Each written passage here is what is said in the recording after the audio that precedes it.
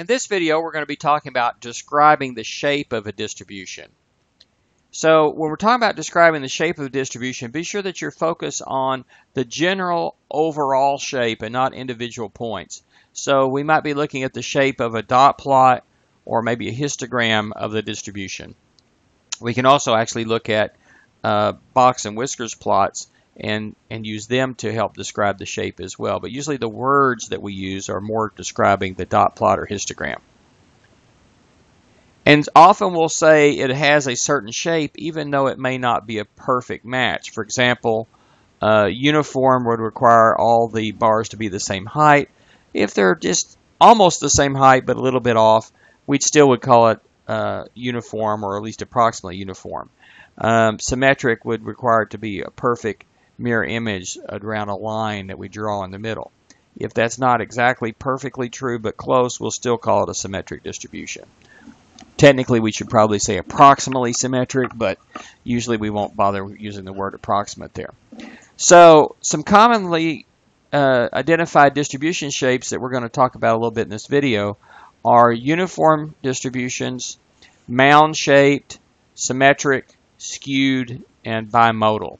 So let's see what we mean by each of those things. So if it's uniform, what pattern are you going to see in the box plot and what uh, pattern are you going to see in the histogram? In the histogram, you're going to see all the bars exactly the same height. So in this case, there, there are uh, five data values, all with probability one-fifth, all with uh, probability one-fifth or relative frequency one-fifth. Um, I kind of use that term interchangeably there. Uh, I should have said relative frequency because we're talking about a distribution, but it's also kind of probability in this sense. If we were to draw an item from this distribution at random, it would have a probability of one-fifth of being a 1, or one-fifth of being 2, and so forth. So relative frequencies and probabilities are pretty closely related. And here's a box plot for that. I use the Tukey method in this case for, for determining the box plot.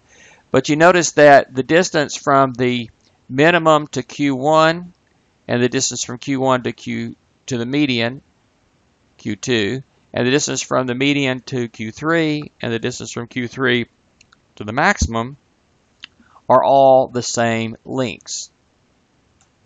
Okay, so that it's evenly spaced out in the box plot. So you can see that on the box plot and you can see it in the, in the histogram.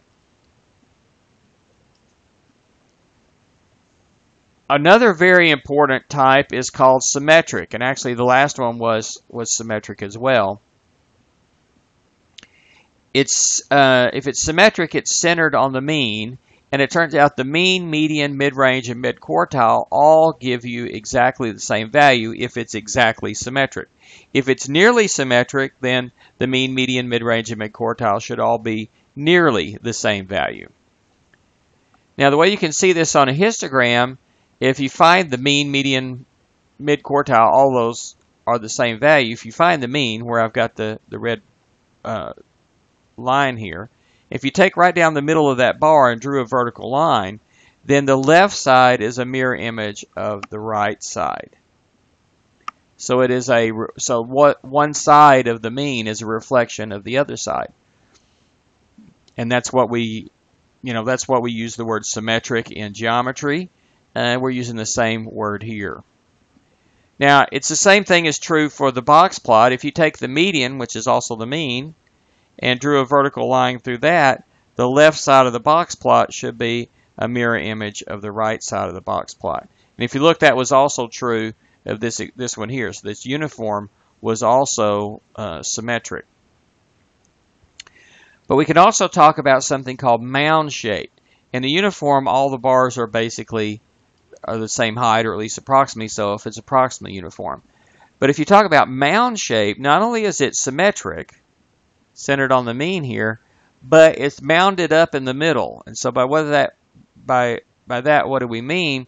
We mean that the highest value is in the middle. So the mode, which is the highest bar, is also the mean and the median and the mid-range. They're all in the mid-quartile. They're all five of those measures of central tendency. They are exactly the same.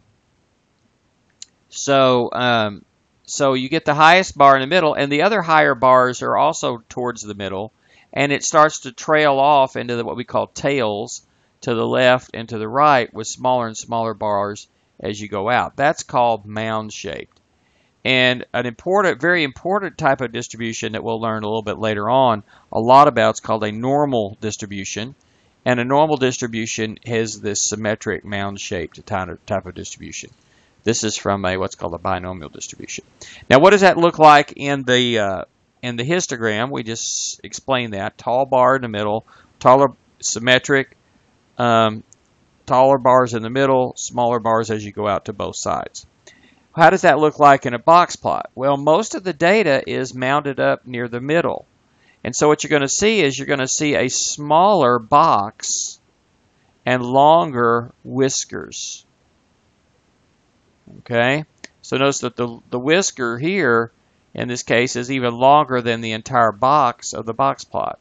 So you're going to see that middle fourth, the middle half of the data is going to be more concentrated, and the upper quarter and the lower quarter of the data are going to be more spread out. Okay, that would be a mound shaped, and if these, if if it's still this box plot is a mirror image on this side from this side, then that's again that's a symmetric distribution. So symmetric mound shape. Now, if it's not symmetric, it's it has what we call a skewness to it. It's, it's a non-zero skewness. So skewness is a measure of deviation from perfect symmetry.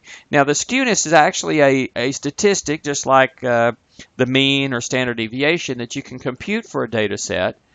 Uh, at this point I'm not going to worry about actually computing it, but you know a lot of statistical programs can compute uh, the skewness. And if the number that you compute for skewness turns out to be zero, then we call that no skewness or zero skewness, and that's perfectly symmetric. If the skewness is close to zero but not actually equal to zero, we'll still identify the distribution as symmetric, even though it's technically it's only approximately symmetric, uh, but it's still more or less symmetric if the skewness is close to zero. Now you say if it's positive skewness or skewed to the right, if they if the skewness measure that you can compute is a positive number, that's positive skewness, that's skewed to the right, and that means the longer tail is on the right side. I'll show you a, picture in, in just a second here. Negative skewness is skewed to the left or the long tail on the left. Now the larger the absolute value of the skewness measure, the farther it is from being symmetric. So if the absolute value of the skewness is fairly large, then the data is said to be significantly skewed. So if the distribution is significantly skewed, or if it has outliers on one side of the mean, then the mean will be on the side of the long tail, or on the side of the outliers from the, from the median, or from the median. And the median is a better measure of the center than the mean. So if it's skewed, whichever way it's skewed, the mean will be on that side of the median. So let's look at some pictures here. So this is an example of something that's skewed to the right.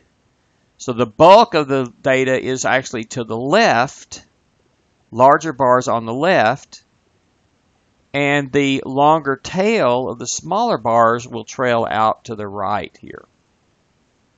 Okay, so in the histogram, the longer tail of the smaller bars will trail out to the right if it's right skewed or positively skewed. In the box plot, that means the longer whisker is on the right. So see, you've got a shorter whisker to the left and a longer whisker to the right. In fact, you even notice in the box plot, uh, it's a little bit, this is maybe in our way here, but if you notice that the distance from Q1 to Q2, the, from the Q1 to the median that is, and from the median up to the Q3, if you compare them, this one from Q1 to the median is smaller than the one from the median to Q3. And then the upper whisker is even longer still. Okay, and so we get a, this is what we call uh, skewed to the right or positively skewed. And notice the mean, which in this case is about 16, and the median, which is 14, are in the order. So when you're skewed to the right, the mean is to the right of the median. So this longer tail has a tendency to pull that mean up. But if you look, most of the data is kind of centered more over in this area. Okay, and so the median right here is a better measure really of center than the mean in this case. Although it's really a good practice to report both the mean and the median. And in fact, that this would tell you since the mean is a little above the median, they're not too far off, so they're kind of near the same center. But it does it is definitely above the the mean is definitely above the median, so we definitely should see some right skewing to the data, which we, we do. Here's some, um, not as many bars, but it's skewed to the uh, to the left. Okay. So if you notice what happens here, in this case, the Q3 and the median are the same value. They're both 9. So uh, a fourth of the data basically is, is right here pretty much at 9. And you have a fourth in here, and then a fourth in here, and a fourth down here. So basically the mean is a little bit, not a lot, but a little bit below the median, 8.6 for the mean, 9 for the median, so we should see a little skewed here. So out here we have some bars that are not zero height, but are very small height out here. So extremely small bar here at 0 and 1, we can hardly see it. Can barely see these bars at 2, 3, and then 4. Now at 5, very small bar. And then the bars get bigger over here. And it kind of cuts off right here at 10 as the highest bar. So again, the higher data, most of the data is, is to the right, but we say it's skewed to the left because the long tail is out to the left. So on the box plot, the longer whisker is to the left, shorter whisker to the right, and in the histogram, the long tail is to the left. So that's skewed data. Another type of distribution we might talk about is bimodal type. And this happens when you have two different modes or at least two different local maxima. If it has two modes, then the highest bar occurs, that height occurs in two different bars. And, but, it, but it could have two local maxima. It could be that maybe one of these bars is a little bit lower than the other one. But we still might call it a bimodal type of shape at least. Because basically what's happening is you've got one mound shape here and you got another mound shape here, and these two data sets have been kind of mixed together. And so this is a really good indication that you're mixing together two different populations. Um, and it should be separated into groups. Maybe if we're measuring heights of adults in the United States, maybe you've got one, you might have something like this as bimodal because you might have women here and men here, and maybe they shouldn't be mixed together. They should be separated out as two different distributions. There's definitely going to be some tall women over here and some short men over here, but you're going to have uh, maybe two different mound shape distributions mixed together. Or maybe you're looking at at uh, a group of salaries, and here you have your uh, your line workers, and here you have maybe middle management, and you see that those maybe should be separated out as different different uh, examples. So that's that's just a couple examples. But if you see this kind of a picture, uh, that's what we call bimodal. And the, the thing that you should be thinking yourself is, wait a minute, I probably have two subgroups here that I need to uh, separate out. Or at least there's a good chance of that. So those are several different shapes that we can look at. And remember, we're not focused on specific bars, uh, but we're uh, but looking rather at the overall shape.